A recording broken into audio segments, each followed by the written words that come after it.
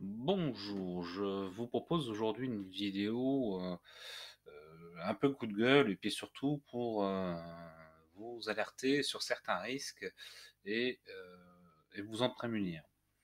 Donc c'est malheureusement pas la première fois que je rencontre cela. Moi j'ai déjà eu des clients qui m'ont contacté pour ce genre de problème. Et là, je trouve encore plus grave. donc là, c'est un, priori un professionnel euh, du web, enfin quelqu'un en tout cas qui se prétend professionnel du web, euh, qui euh, vient appeler au secours sur le forum WordPress francophone parce qu'il a repris la gestion d'un site d'un client sous WordPress et donc il a supprimé un utilisateur et cet utilisateur avait produit 90% du contenu du site. Euh, sauf que euh, bah, comme il a supprimé cette personne sans réattribuer le contenu à euh, un autre utilisateur du site, automatiquement le contenu a disparu.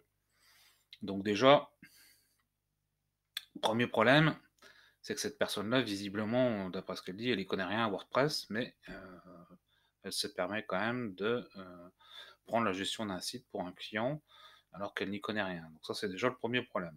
Le deuxième problème, donc euh, visiblement, cette personne-là ne sait pas ce qu'elle fait, et ça a des conséquences plutôt fâcheuses. Le troisième problème, c'est que cette personne-là, elle avoue qu'en plus, elle n'a même pas fait de sauvegarde avant de toucher au site. Or, c'est quand même le B à bas quand on intervient sur un site internet. La première chose à faire, c'est de faire une sauvegarde. Donc, euh, moi, je voulais vous alerter aujourd'hui sur euh, ce type de, prestataires qui, malheureusement, sont encore trop nombreux, qui créent beaucoup de mal à la profession et puis surtout à leurs clients. Donc, ne confiez pas les clés de votre site, a fortiori votre site WordPress, à n'importe qui. Donc déjà, renseignez-vous un peu sur la personne, essayez de voir sur son site si elle a publié des articles au sujet de WordPress pour pouvoir voir si cette personne-là euh, s'y connaît un minimum en WordPress. Parce que c'est pas parce que euh, quelqu'un est développeur ou, euh, ou sait bidouiller un peu les sites internet qu'il sera forcément travailler sur un site WordPress. Et surtout, bah, vous voyez à quoi on arrive. Donc ça c'est très important. Ne confiez pas à n'importe qui votre WordPress. Exigez de ce prestataire qu'il fasse une sauvegarde avant de travailler sur votre site. Vous-même faites une sauvegarde euh, avant de donner les clés de votre WordPress à un prestataire quelconque. Euh, on n'est jamais trop prudent.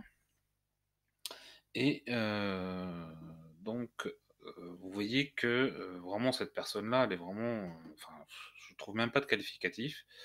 C'est vraiment navrant. Euh, D'autant plus que, comme le précise ici notre ami Sébastien Serre, euh, lorsque vous supprimez un utilisateur sous WordPress, vous avez un message qui apparaît à l'écran vous prévenant que euh, si vous supprimez euh, l'utilisateur sans réattribuer le contenu à un autre utilisateur, ce contenu sera supprimé. Et donc, euh, ce message vous suggère donc de réattribuer euh, les contenus à un autre utilisateur et vous avez la liste des différents utilisateurs qui s'affichent à l'écran. Donc, euh, je dirais que cette personne-là, quand bien même elle n'y connaît rien en WordPress, euh, passons le fait qu'elle vende des prestations sur un site dont elle ne connaît pas la technologie, ce que je trouve grave. Moi, personnellement, euh, je n'y connais rien en Joomla, en Drupal ou je ne sais quoi. Je n'irai jamais vendre des prestations sur, sur ces, sur ces CMS-là parce que je m'estime pas capable. Euh, voilà. Donc après, chacun, chacun fait comme il veut, mais euh, enfin bon, c'est quand même grave.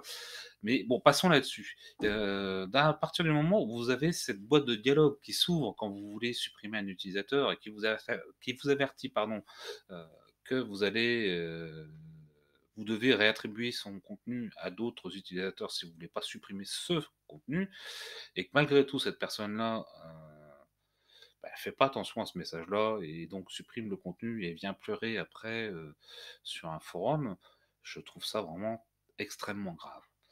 Donc, surtout, je le répète, faites des sauvegardes, faites toujours des sauvegardes. De toute façon, à partir du moment, où on intervient sur un site, que ce soit un WordPress ou un autre, il faut toujours faire des sauvegardes.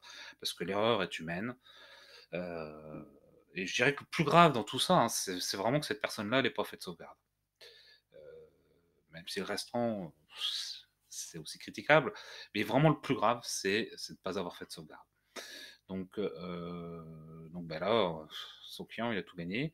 Alors heureusement, son client, il est chez OVH et normalement chez OVH, vous avez des sauvegardes. Sauf que, heu, bah, faut pas attendre trop longtemps parce que bon, OVH, ils vont pas sauvegarder 6 mois, heu heu, voilà, pour, pour votre plaisir. Donc, j'aurais plus chose à ajouter.